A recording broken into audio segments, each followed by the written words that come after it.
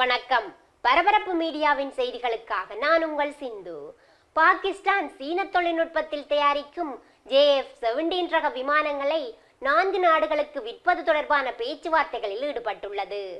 பாகிஸ்தானின் வரவு செலவு திட்டத்தில் பாதுகாப்புத்துறைக்காக ஒதுக்கப்படும் நிதி போதிய அளவில் இல்லை என்று பாதுகாப்பு அமைச்சகம் பிரதமர் இம்ரான்கான் பதவிக்கு வந்ததிலிருந்தே புகார் கூறி வருகின்றது. பாதுகாப்புத்துறைக்கு நிதி ஒதுக்கீட்டை அதிகரிக்க வேண்டுமானால் அரசுக்கு மேலதிக வருமானம் தேவை. ஆனால் மேலதிக வருமானத்தை பெறுவதற்கு புதிதாக எந்த ஒரு ஏற்றுமதிகளும் கை கொடுக்க போவதில்லை என்ற நிலையில் பாகிஸ்தானில் தயாரிக்கப்படும் விமானங்களை வெளிநாடுகளுக்கு விற்கும் முயற்சி தொடங்கப்பட்டது.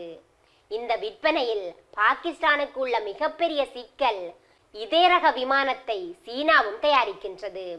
அவர்கள்தான் இந்த விமானத்தின் அசல் தயாரிப்பாளர்கள். அவர்கள் கொடுத்த தொழில்நுட்பத்தை வைத்துத்தான் பாகிஸ்தான் விமானங்களை தயாரிக்கின்றது.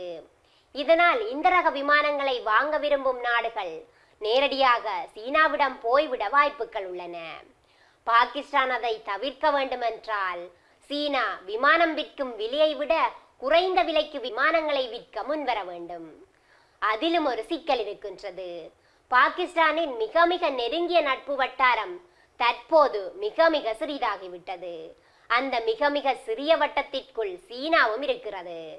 அப்படியான நிலையில் சீனா விமானம் விற்கும் விலையை விட குறைந்த விலைக்கு விமானத்தை விற்பனை செய்தால் சீனாவுடன் உரசல் ஏற்படவும் வாய்ப்புள்ளது. பாகிஸ்தானை பொறுத்தவரை அவர்களுக்கு இது ஒரு இக்கட்டான நிலைதான். இருந்தாலும் பாதுகாப்புத்துறை நிதியொதுக்கீட்டுக்கு இந்த விமான விற்பனையை தவிர வேறெந்த வழியும் இல்லை. விமான விற்பனைக்காக பாகிஸ்தான் பல நாடுகளுடன் பேச்சுவார்த்தை நடத்தியது. நான்கு நாடுகள் பாகிஸ்தானிடமிருந்து விமானம் வாங்குவது பற்றி பரிசீலிப்பதாக கூறப்படுகின்றது. இதில் ஒரு நாடு மியான்மார் இரண்டாவது நாடு நைஜீரியா மூன்றாவது நாடு மலேசியா. இவற்றுடன் பெயர் குறிப்பிடாத ஐரோப்பாசியா அல்லது யுரேசியன் நாடு ஒன்றும் பாகிஸ்தானிடமிருந்து ஜேஎஃப் செவன்டீன் ரக விமானத்தை வாங்குவது பற்றி பரிசீலிப்பதாக கூறப்படுகின்றது. மியன்மாரை பொறுத்தவரை அவர்கள் ஏற்கனவே நான்கு ஜேஎஃப் செவன்டீன் ரக விமானங்களை வாங்கியிருந்தார்கள். அந்த விமானங்கள் பாகிஸ்தானில் தயாரிக்கப்பட்ட விமானங்கள் தான். இருந்த போதிலும் அந்த விற்பனை கொஞ்சம் தந்திரமானது. இப்படியான ஒரு தந்திர வர்த்தகத்தை நீங்கள் இதுவரை கேள்விப்பட்டிருக்காமலும் இருக்கலாம். அது அப்படி என்றால் விமானத்தை விற்றது சீனா.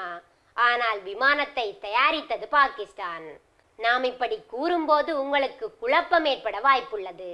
எனவே தெளிவாக கூறிவிடலாம். அந்த விற்பனை எப்படி நடைபெற்றது என்றால் சீனாவும் மியன்மாரும் விமான விற்பனை ஒப்பந்தத்தை செய்து கொண்டன. ஆனால் மியன்மார் கேட்கும் கால அவகாசத்தில் விமானங்களை தயாரித்து கொடுக்க முடியாதபடி சீனாவிற்கு அதற்கு முன் செய்த பல ஒப்பந்தங்கள் வரிசையாக இருந்தன. அந்த நேரத்தில் பாகிஸ்தானின் விமான தயாரிப்பு தொழிற்சாலை எந்தவித தயாரிப்பு பணிகளுமின்றி தூங்கி வழிந்து கொண்டிருந்தது. அதையடுத்து சீனா தமக்கு நான்கு விமானங்களை தயாரித்து கொடுக்குமாறு பாகிஸ்தானை கேட்டுக்கொண்டது.